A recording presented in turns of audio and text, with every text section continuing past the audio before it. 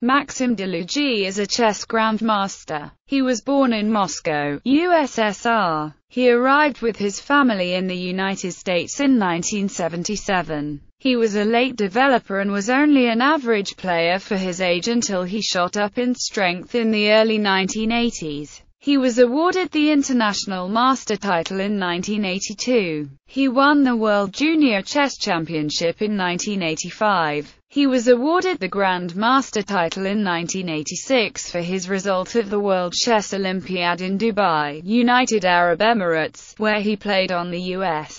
team that was in first place going into the last round. Always a strong speed chess player, Dlugy was formerly ranked number one in the world by the World Blitz Chess Association. He immigrated to America as a young boy and first came to notice in 1984 when he finished third in the U.S. Chess Championship. He was second equals in New York 1985, second equals in Clichy 1986-87 and third equals in the 1987 U.S. Chess Championship. He turned to chess politics and ran for and was elected president of the United States Chess Federation in 1990. Bankers Trust placed an ad in the New York Times for young chess masters believing that they would make good securities traders. Dlugy answered the ad and was hired and got a job working on Wall Street. Eventually, he became a principal of the Russian Growth Fund, a hedge fund. Former world chess champion Garry Kasparov was formerly associated with Dlugy's Russian Growth Fund. In March 2006, after returning to the United States, Dlugy received a special invitation to play in the U.S. Chess Championship in San Diego, California. He achieved a plus score.